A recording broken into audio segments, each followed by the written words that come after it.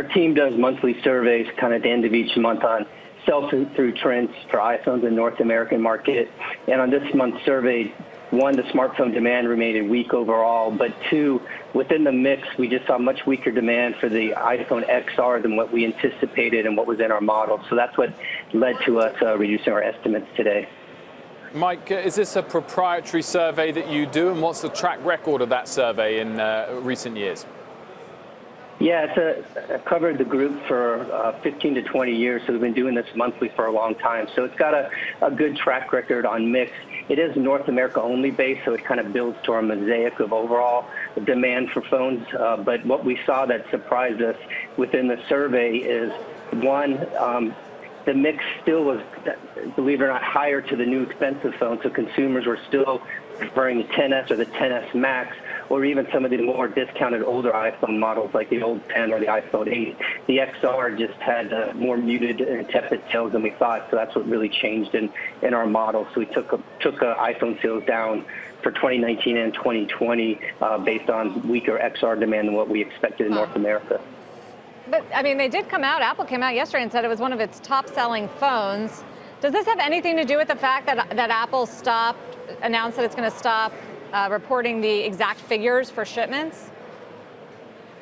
Yeah, I think I think they're trying to feed into the XR. I think on a global basis with price elasticity and the lower price point, I could see it being better. But in North America, you know, the feedback was pretty clear across the survey that uh, consumers were still liking the other models versus this new XR model. It just hasn't done as well as we thought. You know, an outlier would have been more at a, at a T-Mobile where they gave better promotional activity towards the XR in terms of upfront uh, payments you had to put down to get the phone. But clearly in our surveys, the XR is not off to a great start in North America, and that's what led to our cuts today.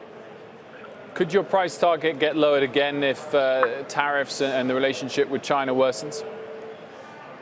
It could, yeah. So we still have a buy in the stock with 125 billion of buyback, and we think there's over 700 million unique new iPhone users. So we think the long-term uh, growth for Apple is quite strong still. But on the short term, um, iPhone certainly drives the estimates of the model, and you know, should things happen in China with tariffs that hurt iPhone sales, you know, that would impact our price target.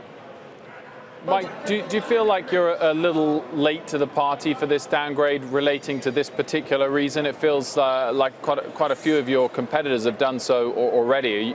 Do you think it might have found a bottom based on this reason of XR demand? Yeah, I think that's a fair point. Uh, we, we do track suppliers. We cover suppliers into Apple. So, you know, what we've done here is we do a more demand-driven survey to try to get more color. Apple has more and more choices on the iPhone, so we are trying to get more granular into where we're seeing some weakness. So what may be different about our call today is it's more demand related, where I think you've seen quite a few supplier related uh, order cuts, and we, we do cover Apple suppliers also, and that did play into our thought process as we had derivative notes out today on suppliers into Apple where we cut their estimates also. But just to be clear, you think it's going higher from here. I mean, your target was cut and you're sounding pretty bearish about demand, but you still see it 225. Yeah, we have a one-year price target methodology. So looking out longer term, we do think at these levels the shares are oversold. We think a lot of the weaker iPhone out of the gate demand is priced into the stocks. That's why we kept our buy rating, and our price target still you know represents a buy rating where the stock is today.